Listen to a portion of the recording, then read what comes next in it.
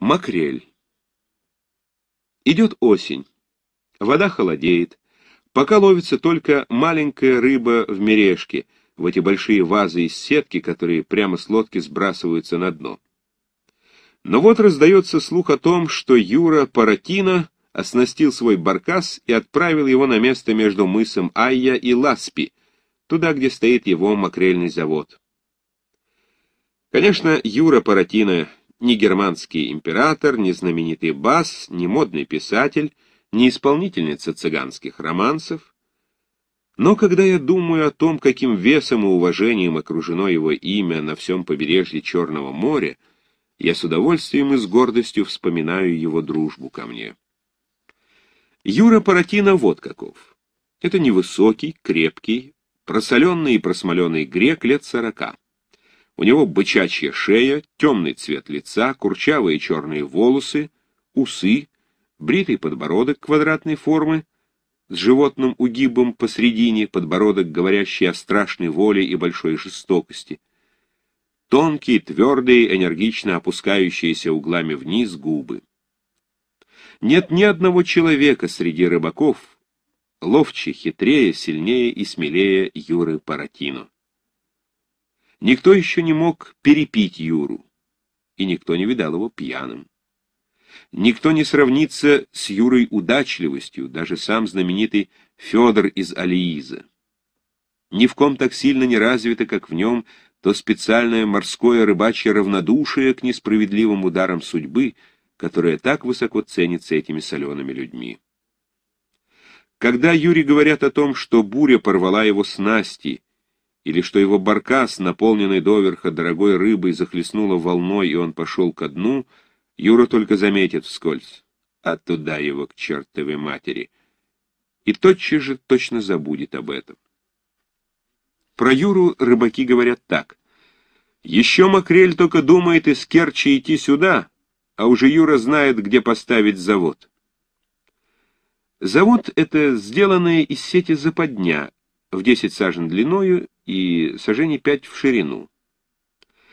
Подробности мало кому интересны. Достаточно только сказать, что рыба, идущая ночью большой массой вдоль берега, попадает благодаря наклону сети в эту западню и выбраться оттуда уже не может без помощи рыбаков, которые поднимают завод из воды и выпрастывают рыбу в свои баркасы. Важно только вовремя заметить тот момент, когда вода на поверхности завода начнет кипеть, как каша в котле. Если упустить этот момент, рыба прорвет сеть и уйдет. И вот когда таинственное предчувствие уведомило Юру о рыбьих намерениях, вся Балаклава переживает несколько тревожных, томительно напряженных дней. Дежурные мальчики день и ночь следят с высоты гор за заводами, баркасы держатся наготове, из Севастополя приехали скупщики рыбы. Местный завод консервов приготовляет сараи для огромных партий. Однажды ранним утром повсюду, по домам, по кофейным, по улицам разносится, как молния, слух. Рыба пошла, рыба идет. Макрель зашла в заводы к Ивану Егорычу, Котик, Христок, Спиро и Капитанаки. И уж, конечно, к Юре Паратино. Все артели уходят на своих баркасах в море. Остальные жители поголовно на берегу. Старики, женщины, дети и оба толстых трактирщика, и седой кофейщик Иван Адамыч, и аптекарь, занятой человек, прибежавший в попыхах на минутку, и добродушный фельдшер Евсей Маркч, и оба местных доктора. Особенно важно то обстоятельство, что первый баркас, пришедший в залив, продает свою рыбу по самой дорогой цене. Таким образом, для дожидающих на берегу соединяются вместе и интерес, и спорт, и самолюбие, и расчет. Наконец, в том месте, где горло бухты сужается за горами, показывается, круто огибая берег, первая лодка. Это Юра? Нет, Коля. Конечно, это Геннадий. У рыбаков есть свой особенный шик. Когда улов особенно богат, надо не войти в залив, а прямо влететь на веслах. И трое гребцов, мерно и часто, все как один напрягая спину и мышцы рук, нагнув сильно шеи, почти запрокидываясь назад, заставляют лодку быстрыми короткими толчками мчаться по тихой глади залива. Атаман лицом к ним гребет стоя, он руководит направлением баркаса. Конечно, это Юра Паратино. До самых бортов лодка наполнена белой серебряной рыбой, так что ноги гребцов лежат на ней вытянутыми прямо и попирают ее. Небрежно на ходу, в то время, когда гребцы почти еще не замедляют разгона лодки, Юра соскакивает на деревянную пристань. Тотчас начинается торг со скупщиками. «Тридцать», — говорит Юра и хлопает с размаху о ладонь длинной костлявой руки высокого грека. Это значит, что он хочет отдать рыбу по 30 рублей за тысячу. «Пятнадцать!» — кричит грек и, в свою очередь, высвободив руку из-под низу, хлопает Юру по ладони. «Двадцать восемь! Восемнадцать! Хлоп! Хлоп! Двадцать шесть! Двадцать! Двадцать пять!» — говорит хрипло Юра. «И у меня там еще идет один баркас». А в это время из-за горла бухты показывается еще один баркас, другой, третий, еще два сразу. Они стараются перегнать друг друга, потому что цены на рыбу все падают и падают. Через полчаса за тысячу уже платят 15 рублей, через час 10 и, наконец, 5 и даже 3 рубля. К вечеру вся балаклава нестерпимо воняет рыбой. В каждом доме жарится или маринуется скумбрия. Широкие устья печей в булочных заставлены глиняной черепицей, на которой рыба жарится в собственном соку. Это называется макрель на шкаре, самое изысканное кушанье местных гастрономов. И все кофейные трактиры наполнены дымом и запахом жареной рыбы.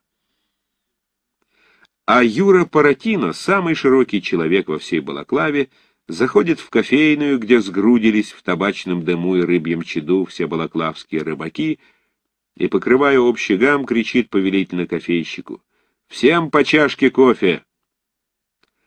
Момент всеобщего молчания, изумления и восторга. «Э, «С сахаром или без сахару?» — спрашивает почтительно хозяин кофейни, огромный черномазый Иван Юрьевич. Юра в продолжении одной секунды колеблется. Чашка кофе стоит три копейки, а с сахаром пять. Но он чужд мелочности.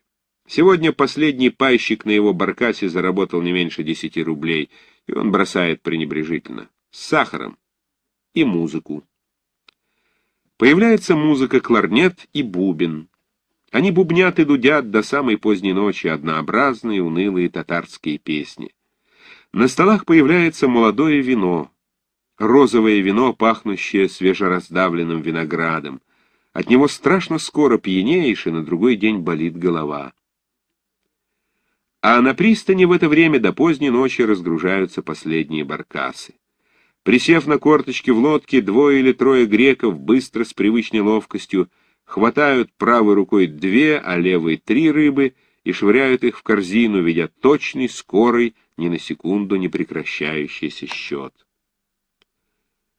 И на другой день еще приходят баркасы с моря. Кажется, вся балаклава переполнилась рыбой.